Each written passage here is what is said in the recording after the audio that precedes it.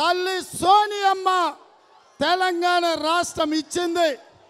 ఆంధ్రప్రదేశ్లో పార్టీ చచ్చిపోయి కేంద్రంలో అధికారం కోల్పోయి తెలంగాణలో ఒడిదుడుకులను ఎదుర్కొన్న తెలంగాణ రాష్ట్రాన్ని ఇచ్చిన తల్లి సోనియమ్మ. అట్లాంటి తెలంగాణలో కల్వకుంట్ల కుటుంబం కాల నాగై అనకొండై ఈ తెలంగాణను కొల్లగొట్టింది. అందుకే మిత్రులారా ఈ తెలంగాణ పొలిమేర్ల నుంచి కల్వకుంట్ల చంద్రశేఖరరావు కుటుంబాన్ని అండమాన్ వరకు తరమాల్సిన బాధ్యత తెలంగాణ యువకుల మీద ఉన్నది.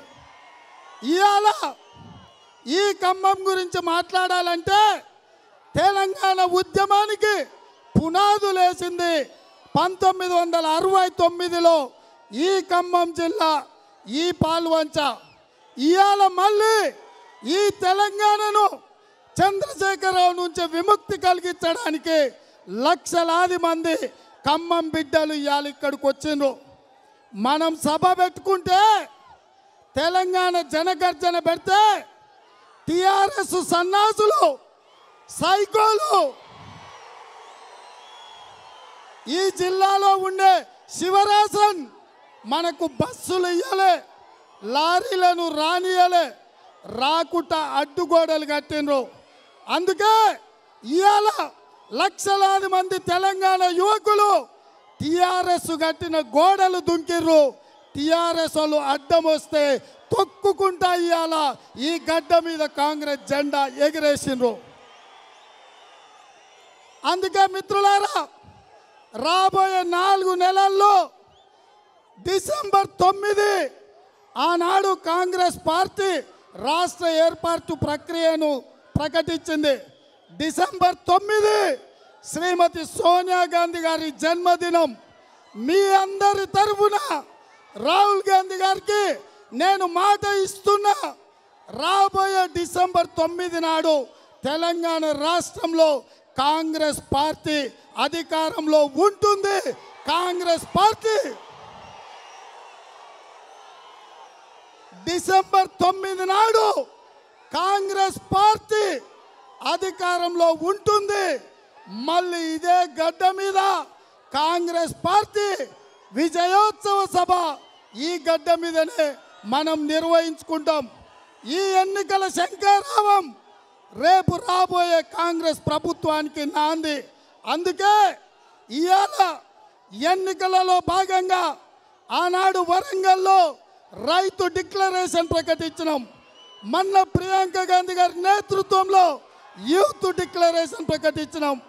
ఇవాళ పేదలకు నాలుగు వేల రూపాయల పెన్షన్ ఇవ్వాలని ఇవాళ కాంగ్రెస్ పార్టీ నిర్ణయం తీసుకున్నది.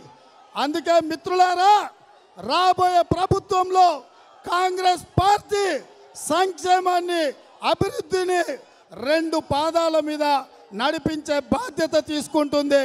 మిత్రులారా మీరందరూ మనమందరం ఈరోజు మీ అభిమాన నాయకుడు పొంగులేటి శ్రీనివాసరెడ్డి గారు ఇవాళ కాంగ్రెస్ పార్టీలో చేరిండు.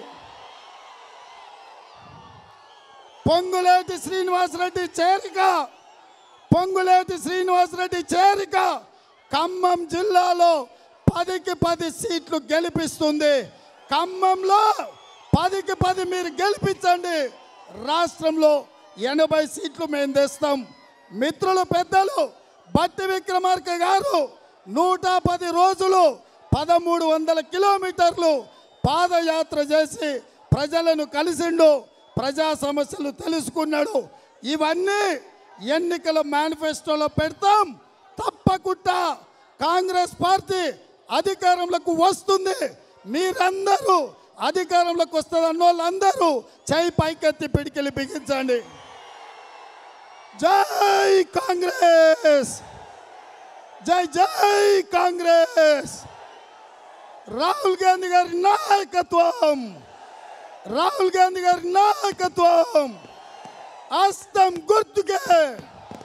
అస్తం గుర్తుకే! అస్తం గుర్తుకే!